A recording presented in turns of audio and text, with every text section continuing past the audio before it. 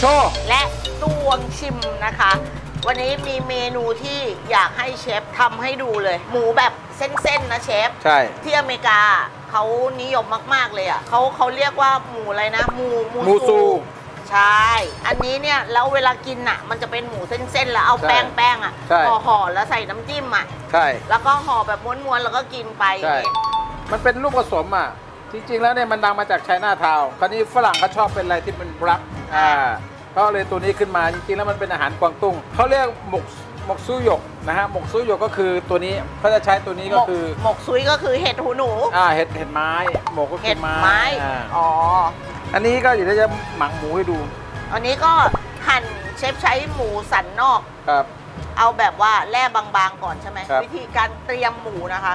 เชฟก็สไลด์หมูออกมาแบบบางๆ แผ่นบางๆ อันนี้คือสังเกตว่าเชฟอะหั่น หั่นหมูตามทางยาวของเนื้อ เพราะว่าตะกี้ตัดขวางแล้ว โอเคหมักง่ายๆนะครับ เราก็จะใช้เอ่อซีอิ๊วขาวน้ำมันหอยซอสปรุงรสจะหมักหมูใช่ไหมเชฟอ่าพอไหม พอละแล้วก็ซอสปรุงรส อ่าแล้วก็น้ำมันหอย สิ่งที่ขายไม่ได้กับไอ้พวกนี้ก็คือน้ำตาลเพื่อความกลมกล่อมใช่น้ำตาลนี่ช้อนหนึ่งเลยเฉาะช้อนครึ่งแล้วกัน อันนี้ไข่ขาวไข่ขาวช่วยอะไรคะเชฟช่วยมันลื่นสะแล้วก็มันลื่นแล้วก็ไอ้พวกเนี้ยรสชาติที่เราใส่เข้าไปเวลามันโดนความร้อนปุ๊บมันก็จะจับเนื้ออ๋อครับผมแป้งมันฮ่องกงครับอ่าหมูเนี่ยเวลาหมักก็จะเหมือนสาวๆอะทำไมอะต้องเบาอ๋อห้ามๆห้ามแรงปุยปุยยห้ามปุยปุยใส่ำจะต้องน้ำใส่น้ำไปด้วยเหรอคคะรับผมน้ำ มันงา แค่ดมก็หอมแล้ว แล้วก็ไม่มีสารกันบูดด้วย ไม่มีน้ำตาล ไม่มีผงชูรส ไม่ได้แต่งกลิ่นสีสังเคราะห์ อันนี้เกิดจากการหมักถั่ว จากเกลือฮิมาลายันสีชมพูเลยนะคะ ถ้าใครเปิดใช้แล้วกรุณาเก็บตู้เย็นนะคะ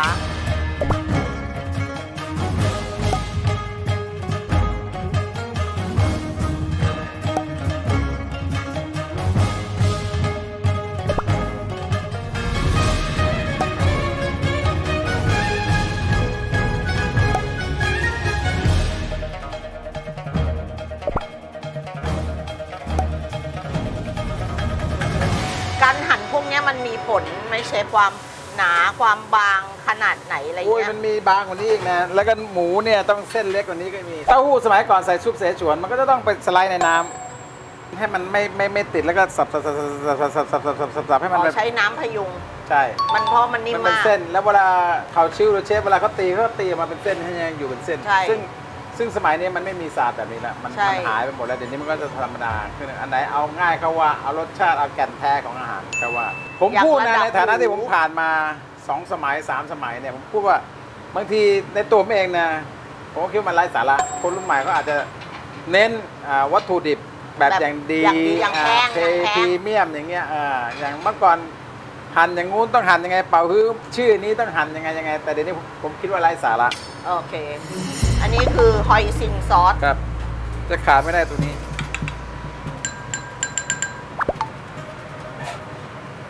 น้ำมันแล้วก็ซอสปรุงรส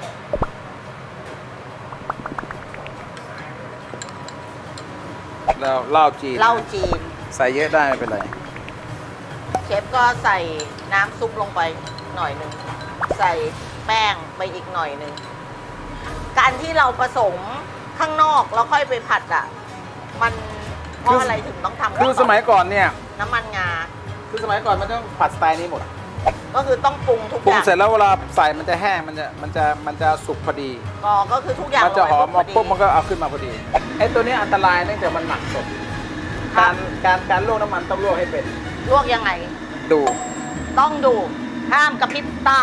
กระทะมันต้องร้อนจัด กระทะต้องร้อนจัด แล้วปิดไฟเหรอเชฟ ใช่ นิดหน่อยเป็นอุ่นนิดหน่อยกระทะให้ร้อนจัดแล้วก็ใส่น้ำมันลงไป แต่ตอนนี้เชฟปิดไฟแล้วอะ ใช่แค่เอาน้ำมันให้มันดูดความร้อนจากกระทะ อ่าคราวนี้ขึ้นมาใหม่ แล้วก็เร่งน้ำมันเร่งไฟขึ้นมาใหม่ ปิดไฟ อ้าวโอเคออก เอาน้ำมันใส่ใหม่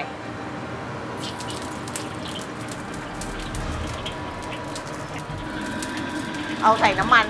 แล้วก็น้ำมันยังไม่ได้ร้อนจัด เชฟเอาหมูที่หมักไว้นะคะ ลงลวน พอถ้ามันไฟแรงเกินไปเชฟก็ยกกระทะขึ้น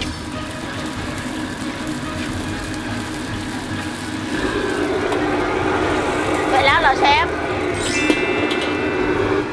ต้องเอาไอ้กระบวยอะ คนตลอดเวลา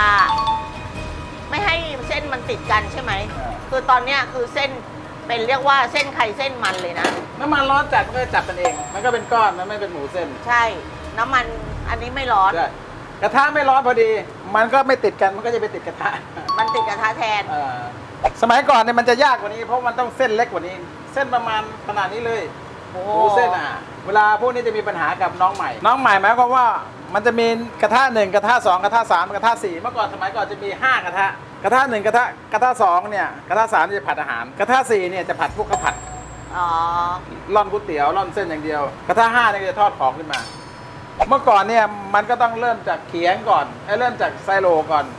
คนที่จะขึ้นมากระทะได้ก็ต้องไปทำกับข้าวพนักงานก่อนพอกระทะสามออกปุ๊บหรือกระทะห้าออกปุ๊บอะทำกับข้าวพนักงานก็ก็ขึ้นย้ายมามานี่พอ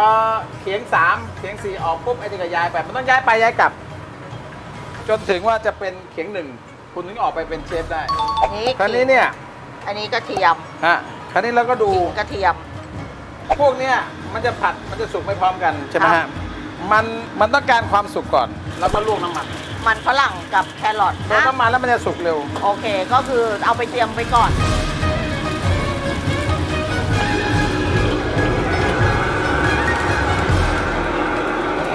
อันนี้ขิงกระเทียม ผัดพวกนี้ส่วนมากเขาจะต้องการความแห้งแล้วต้องยังไง แต่ว่ามันก็ต้องมีไอขึ้นมา เชฟก็ใส่ผักทุกอย่างลงไป ใช่ไหมเราก็จะใช้เหล้าเหล้าจีนอ่าสาดลงไป ใช่ เพราะเหล้าเนี่ยเวลาเขาระเหยเนี่ยมันจะแห้งเนื่องจากเขามีแอลกอฮอล์ แล้วมันก็หอมด้วยครับแล้วเชฟก็คั่วคั่วคั่วคั่วเสร็จแล้ว คั่วอีกเล็กน้อย แล้วก็เอาหมู แล้วก็มันฝรั่งเส้น แล้วก็แครอทเส้นลงผัด ผัดให้เข้ากันก่อน คั่วให้ดีนะคะตอนนี้ แล้วก็หลังจากนั้นก็ค่อยใส่ส่วนของซอสปรุงรสที่เตรียมเอาไว้ ลงผัดให้เข้ากัน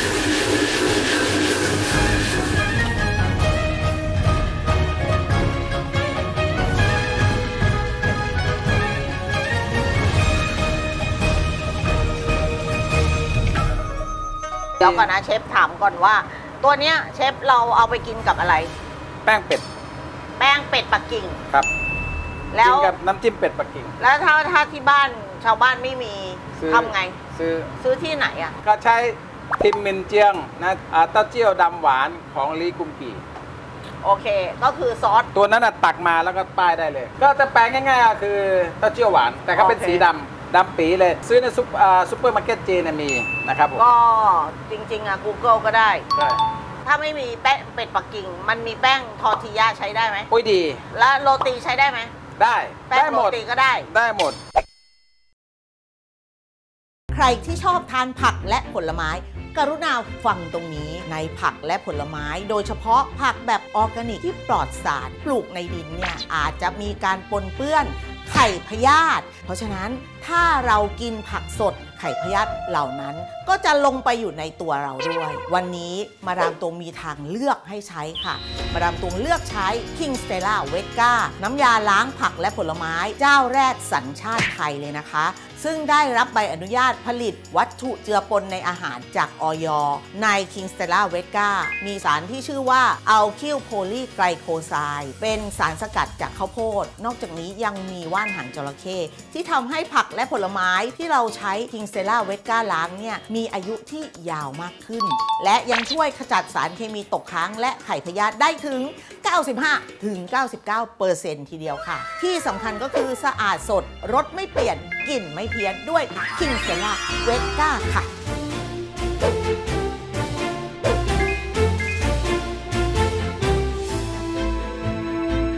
ออ้าวมาดาม ขอบคุณครับ เรามากินกันในครัวเลยนะเชฟ โอ้โห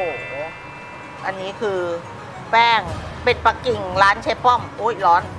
ต้องใส่ผักก่อนเหรอ ผมกินผักไงนี่ห่อผัก มันควรจะเอาแป้งวางก่อนหรือเอาผักวางก่อน แล้วแต่ชอบ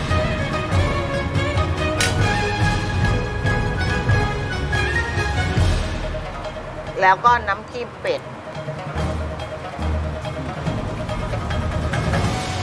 นี่แรปแรปโย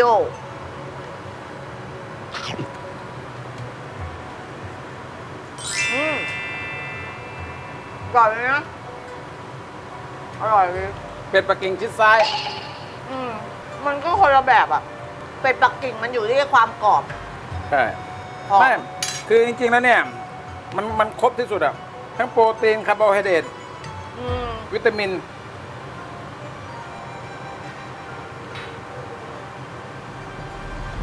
ขอบคุณครับเมนูนี้นะคะ หมู มูซูอย่ามูมานอย่ามูมาน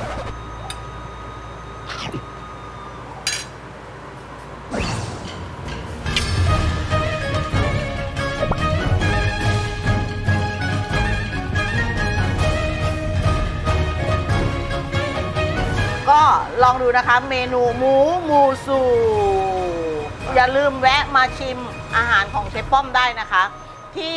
ร้านเชฟป้อม สาขาเจริญนครอยู่ระหว่าง เจริญนคร 57 กับ 59 แล้วทำไมถึงต้องมีเชฟป้อมคิทเช่นกับเชฟป้อมไบตอสอะสองสองร้านมันต่างกันไง อ่าอันนี้ก็จะเป็นแบบคลาสสิกทั่วไป